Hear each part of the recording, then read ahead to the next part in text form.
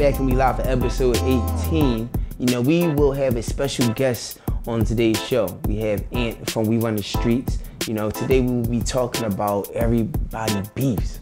What is that, Dad? Everybody Beefs is a video game that you can play on your phone.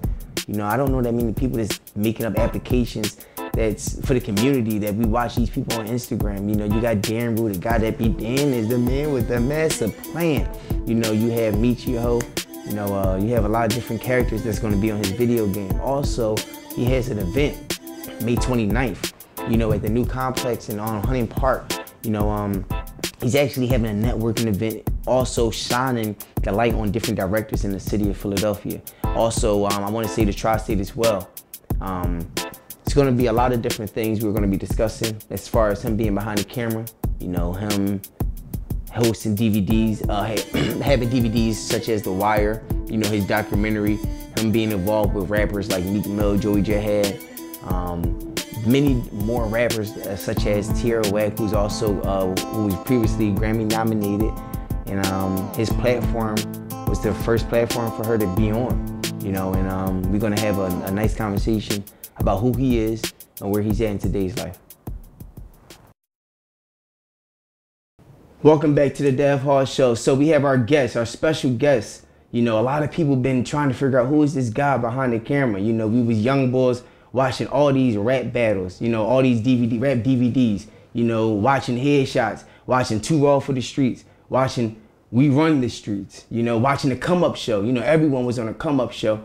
But we got the man right behind the camera, right in front of the camera today on the Dev Hall Show. What's up, man? What's up? But we on the streets, man. All started with a camera. Yeah, man. How you doing today? I'm chilling. I'm live. Right Yo, man, let me tell you how I ran into this guy, man. You know, I'm all about business. He Ubering this shit, man. I think he was with his fam. You know, I recognize his face. I'm like, yo, yeah, from we on the streets, right? Like, yeah, y'all gave him his business card. I'm like, yo, man, I love to do an interview with you, man. A lot of people would like to know a lot that went behind the camera. Uh, we actually got you in the position you are in today. Mm-hmm. Um, so first things first, man. Brand name. We run the streets. Where that name come from? Uh, just in the studio one day. It was me, um, couple people. You know, I, uh, we were just thinking about. I think the lock said that we are the streets. Right. And then you know we just swapped out the word. We ain't never think it was gonna go this far.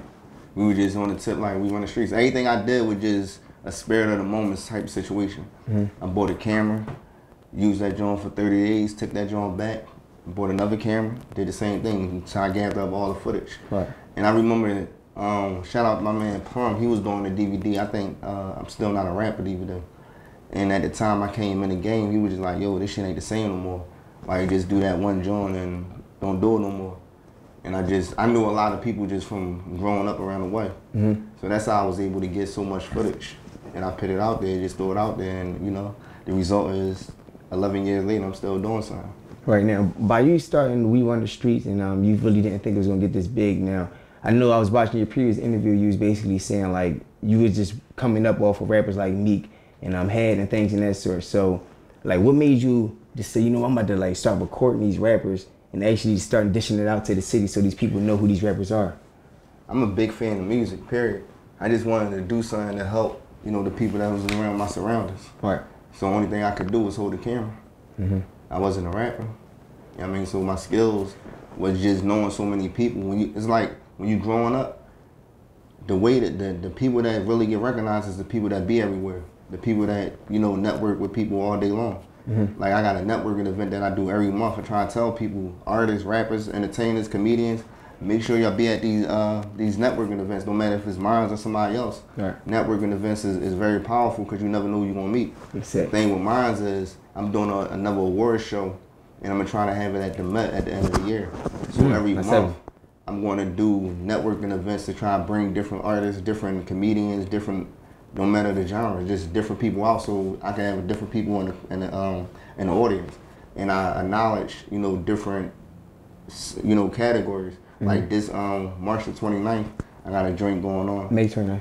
Yeah, May 29th, I got a joint going on, and uh, I'm I'm nominating all the best directors. Right. It's not really about the best. That's just the word that you know get chosen, because mm-hmm. everybody do anything.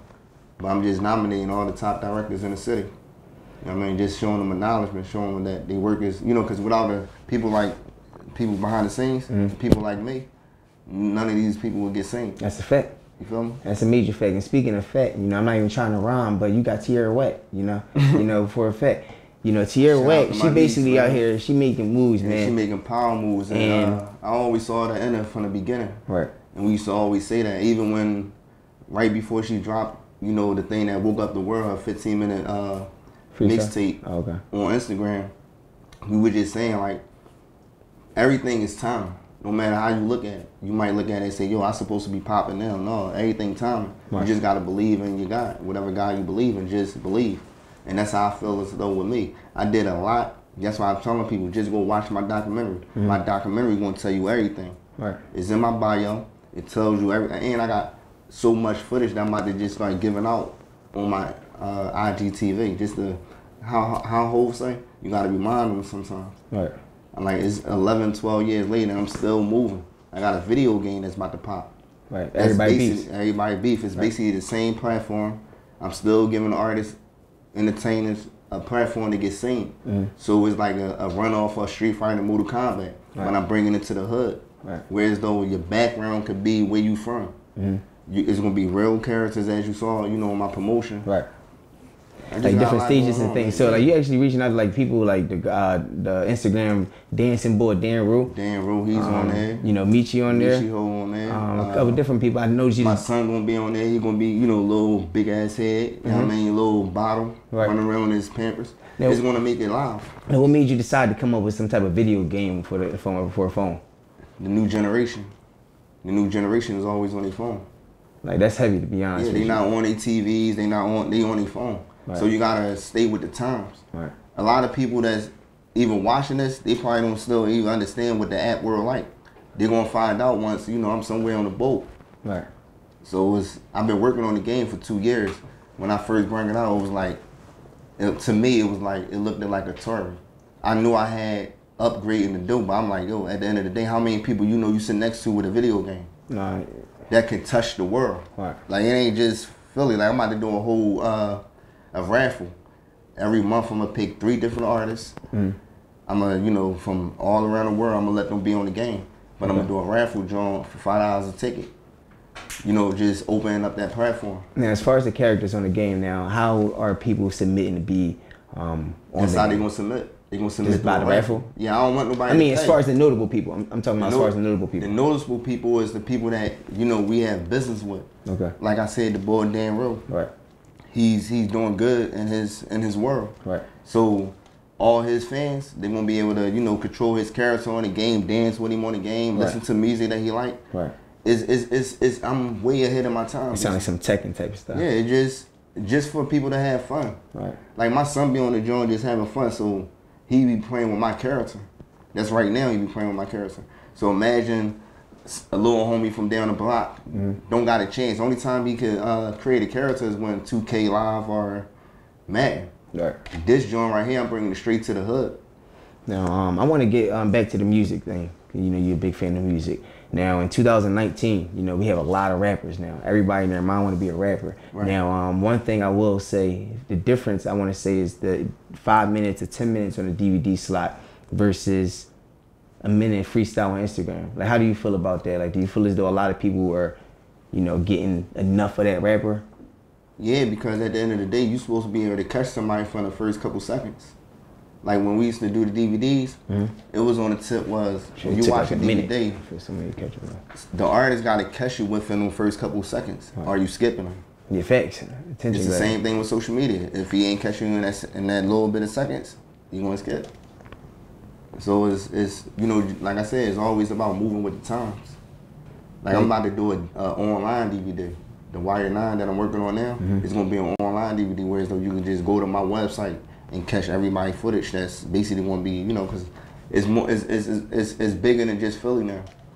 Social media, like y'all gotta use that. That platform is everything. I ain't even gonna hold you. I remember copping up the wires. Um, this is when Shelton Mall used to have that like stand in the Yeah, middle of the mall. Yeah, yeah. yeah. Everybody had the DVDs and the CDs and stuff. And I remember you used to copping a couple of your DVDs, man. Like, and I actually got a chance to actually sit here with you right now, man. I actually wanted to just let you know, just in case a lot of people didn't tell you, man. I'm proud of you. You know, I don't know you from a can of paint, but I like to see a lot of black people, you know, succeed in life. And um, this is what my platform is for. You know, just to give people that insight of who you are and where you came from. Mm-hmm. Um, I wanted to know for the people that actually are trying to be, you know, up and coming with this rap shit. You know, because a lot of people starting to do there's, you know, um, footage of different rappers and trying to start a, a catalog or a movement or whatever they want to call it. Like, what can you tell them, you know, to help them in life as far as being Like behind the camera? I mean, if they're artists, or if you saying from the behind the camera stand, it's all about your content from you know our point of view.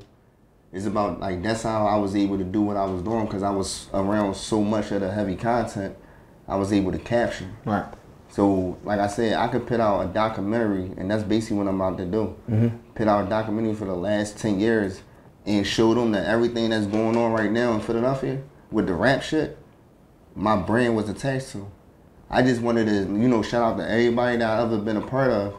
It's just I wanted to be able to stand on my own too and be able to say, yo, listen, it's not like, I believe in, all right, uh, a signed artist can get signed today, right? Right. majority of them don't make it past a year. But you want you want to know one thing? It's always going to be new talent coming around that corner. Hmm.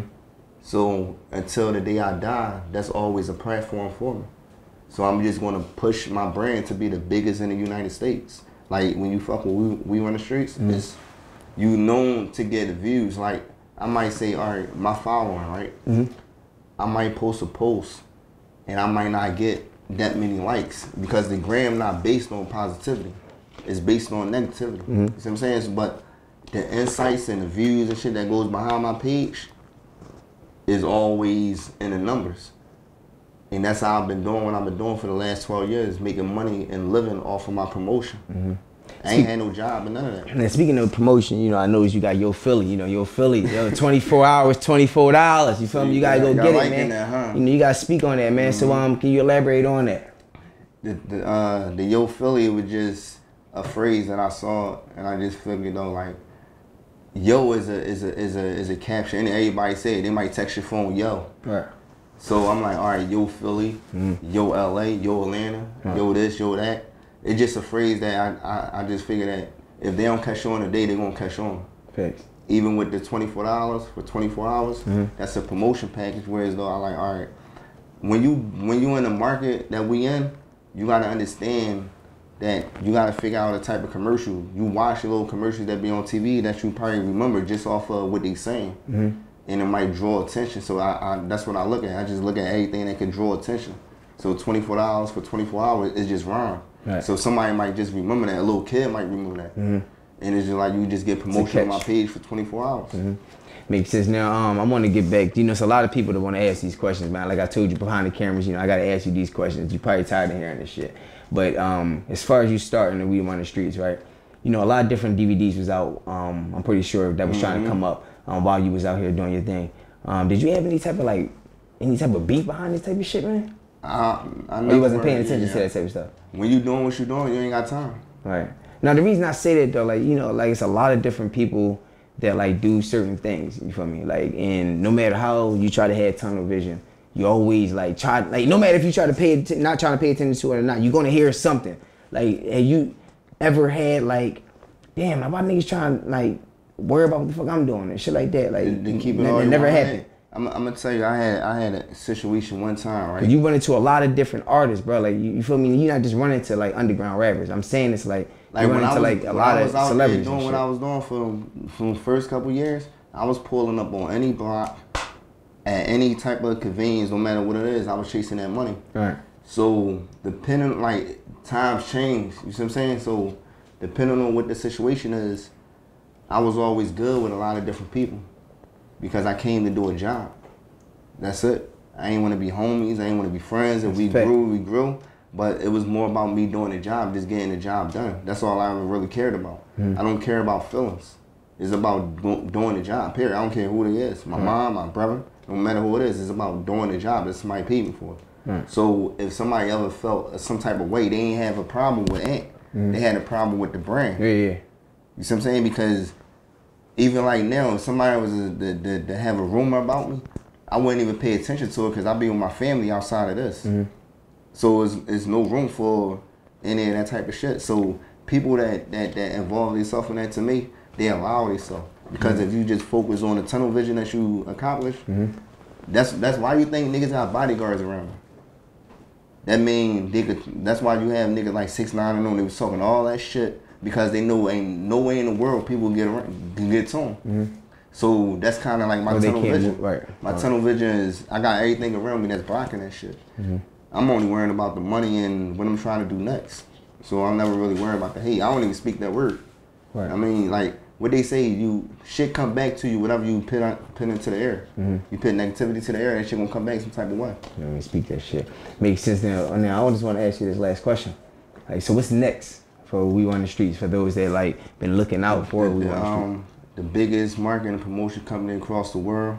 Like I said, this video game is about to really change change it because it's the way I'm putting it out there. I'm not worrying about the industry fucking with it. I'm not worrying about the niggas in the industry fucking with it.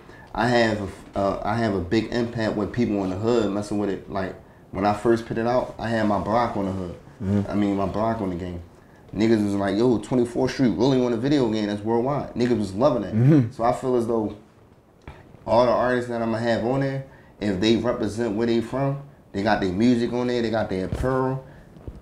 I'm gonna make my I'm gonna make my bread. I'm not worrying about competing with nobody.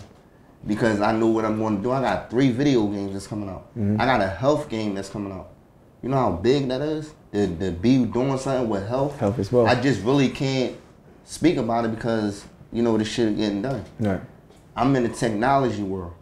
So whatever I'm doing is gonna be big regardless. Mm-hmm. And once you and once you start doing something, everything else just come along with it. Right. It's gonna follow right through. You know what I mean? So before I get out of here, make sure y'all fuck with my nigga Spazzy. You know what I mean? You know I'm still fucking with Santos. You know what I mean? Shout out to Tierra Wax. She definitely doing her thing.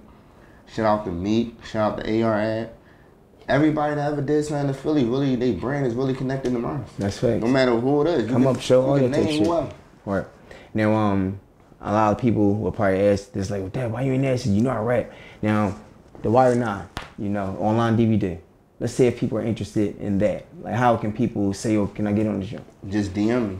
Just DM me on call 267-580-9787. We can talk business. I just do business all day. I'm just trying to build a team around me to take care of everything that need, that somebody need. Right. You know what I mean? Like I love the way y'all set y'all y'all situation up. You know what I mean? I'm supposed to be doing a uh, a TV show and I want y'all to be a part of it. You know I Respect, mean? Appreciate that. So uh May the 29th Media, you know that. May the 29th, make sure y'all be down there at uh, New Style Complex, 1640 West Hunting Park. Network. Just, I'm, I'm bringing the people out there for y'all to network with them. If I'm not mistaken, if- is is new um that Newplex joint? That's right on top of that that on top of that uh Car car joint. Yeah, Mhm. it's nice in there too. Real nice. Right, I've been inside that joint. Mhm. Well, I appreciate you stopping by the Dev Hall show. Yeah. And um, I wish you the best in the, um, everything you got going on, man. Especially with everybody beefs. You know the health game. You know the new never unnoticed event. No, um, nothing, nothing goes unnoticed. Nothing goes unnoticed.